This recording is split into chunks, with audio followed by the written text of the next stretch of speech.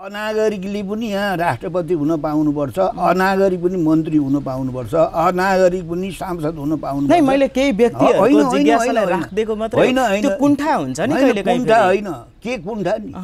कोही व्यक्ति आएर यति छिटो अगाडि बढ्दियो को व्यक्ति आयो भन्नु तपाईँले म प्रश्न गर्छु। रवि लामी छाने लगायतका युवाहरू हिजो आएर आज मन्त्री उप प्रधानमन्त्री बन्दै यत्रो अगाडि गए नेपालमा। चाहिँ अनागरिक मान्छे सांसद हुँदा अनागरिक मान्छे गृहमन्त्री हुँदा अनागरिक मान्छे एउटा पार्टीको अध्यक्ष हुँदा तपाईँहरूलाई यस्तो टेन्सन किन नि किन किन खुसियाली हो?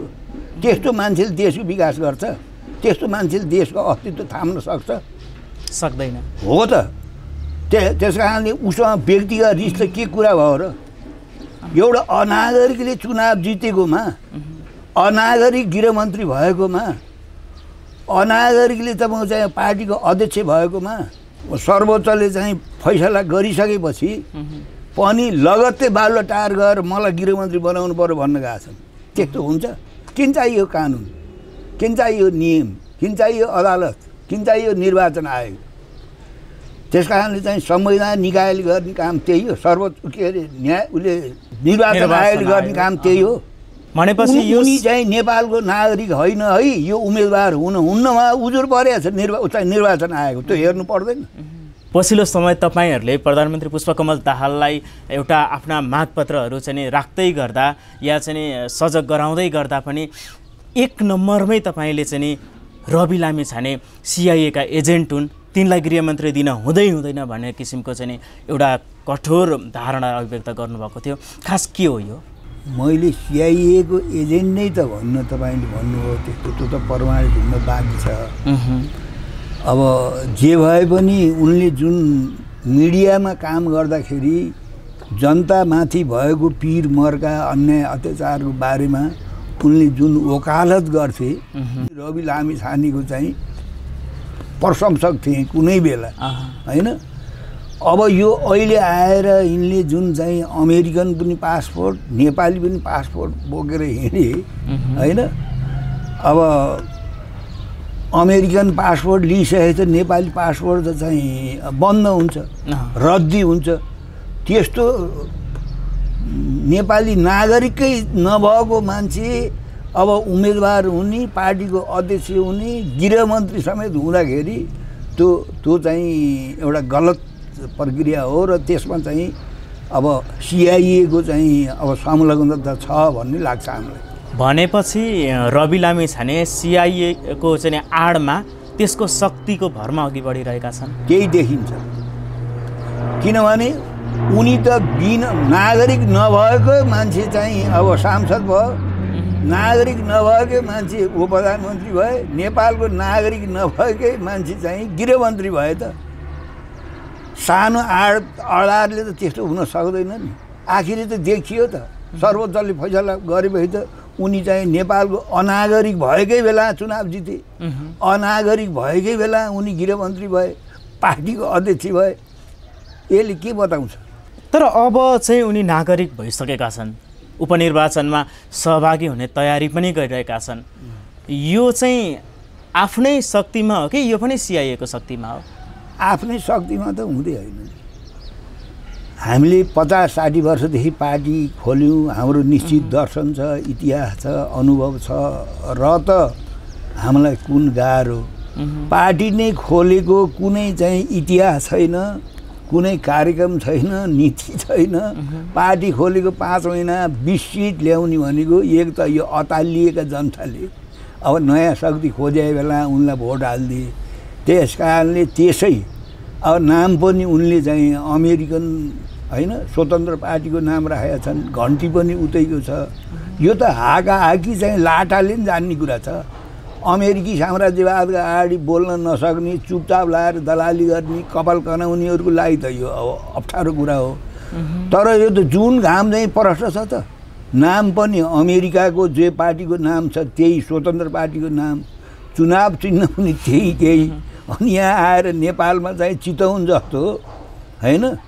अब शिक्षित मतदाता भएको ठाउँमा अब त्यो जनता त यो सत्ता शक्तिसँग अतालिएर नि हो रिसली पनि हो। अब यति चाँडै प्रगति गर्ने भने त तपाईँ चाहिँ एउटा ठोस आधार सहयोग बेगर त यस्तो यति चाँडै त हुन सक्दैन नि।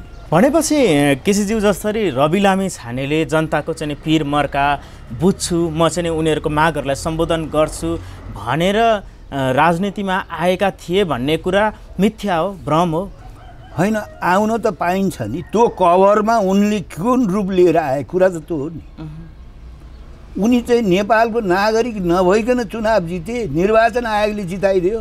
उजुर परेछ यिनीसँग नेपाली नागरिक त छैन भनेर वकिलहरूले उजुर हालेछ निर्वाचन आयोगले वास्ता गरेन। हो कि भन्नु न।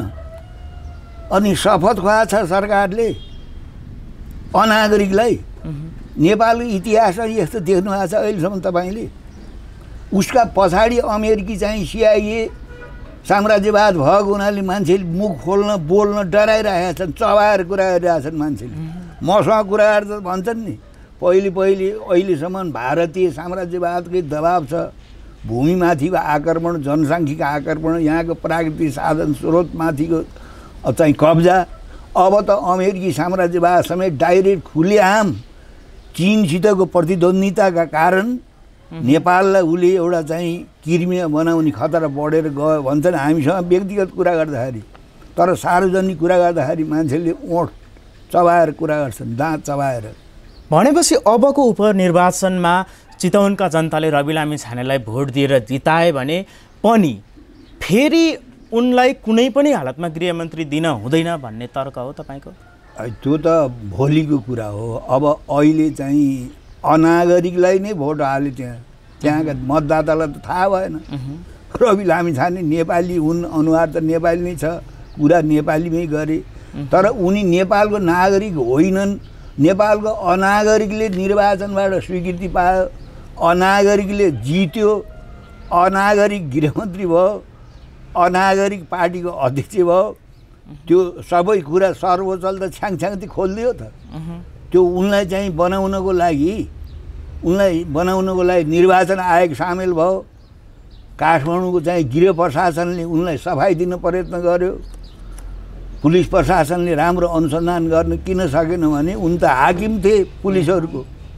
यतिका षड्यन्त्र यतिका खेल हुँदा पनि अझ कतिपय मान्छेले चाहिँ जिब्रो चबाएर कुरा किन गर्ने? यो त छ्याङछ्याङदी छ नि। छ्याङछ्याङदी छ त यो त। अब तपाईँले चितवन दुईमै रवि लामी छानेलाई हराउनका निम्ति हाम्रो उम्मेदवार सशक्त रूपमा उठाउँछौँ पनि भन्नुभएको छ। हो। के हो यसको रहस्य? होइन हामीले उठाउँछौँ र हामीले चाहिँ अमेरिकी साम्राज्यवादको चाहिँ भण्डाफोर पनि गर्छौँ। रवि लामी छानेलाई हराउने? होइन हराउनै पर्छ नि। विदेशको एजेन्टलाई चाहिँ जिताउनु हुन्छ भन्नुहुन्छ तपाईँ। जो नेपालको नागरिक नभएकै बेला चुनाव जिताए। त्यही त्यस कारणले चाहिँ त्यो प्रवृत्ति के हो?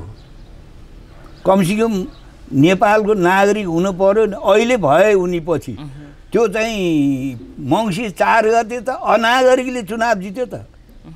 मङ्सिर चार गते पछि त अनागरिक गृहमन्त्री भयो नेपालको। अनागरिक चाहिँ एउटा ठुलो पार्टीको चाहिँ बिसिट भएको पार्टीको अध्यक्ष भयो। यो त लाटाले पनि जान्ने कुरा हो नि। भनेपछि यो सिधा सादै रूपमा चाहिँ नि बाह्य शक्तिको विशेष गरी तपाईँकै शब्द सापट्टि लिँदाखेरि अमेरिकन शक्तिको हस्तक्षेप सिआइएको। सिआइएको। योजना सिआइएको प्रोग्राम सिआइएको पैसाको भरमा भएको खेल हो यो तपाईँहरू भन्न डराउनुहुन्छ किनभने डर छ। हामी डराउनु मर्न परे पनि देशको चाहिँ रक्षाको लागि हामी भन्न डराउ देखेको कुरा। यो भन्ने भए त चाहिँ पहिले भन्थ्यौँ नि। स्वयं रवि लामी छानेले मलाई फोन गरेर मेरो खोलेको टिभीमा आइदिनु पऱ्यो दाई भनेर उनको निम्ता गएको छु म। त्यतिखेरसम्म रवि लामी छानेलाई मैले राम्रो पत्रकारको रूपमा मानेको छु। मेरो व्यक्तिगत त केही कुरा होइन नि। पछिल्ला दिनमा उनको जुन कलाइ देखियो सारा मिडियाहरू उत्रे त। यो नेपालको लोकतन्त्र यो प्रजातन्त्र ल्याउन नेपालको मिडियाको भूमिका छैन। कसरी उछितो खाने खने उनले। उनका गल्ती कमजोरी मात्रै उजागर गरे हुन् मिडियाले त।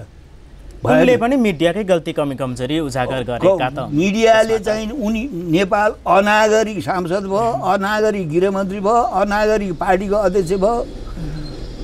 उतिखेर नआए त लिने बित्तिकै ल मलाई गृह मन्त्रालय चाहियो भनेर चाहिँ प्रचण्डजीसँग बालो टार गरेर छाँद हाल्छन् अनि त्यो कुरा मिडियाले भन्न परेन। हो भनेपछि उनी कति आक्रोशित भयो मिडियाप्रति? त्यही मिडियाका भरमा भएको होइन उनी नेपाली जनतालाई भरम पार्न सफल भएको। त्यस्तो होइन। त्यस कारणले उनले जो गल्ती गरे त्यो गल्ती हो त्यो बेठिक हो। बेठिकलाई हामी बेठिक भन्छौँ। जुन बेला उनले मलाई दाई तपाईँ मेरो टिभीमा आइदिनु भयो र अन्तर्वार्ता दिनु म त गएँ त। मैले त नेपाली जनतामाथि भएको अन्याय अत्याचारको विरोधमा बोल्ने पत्रकार रवि लामी छाने कोही रूपमा देखेँ।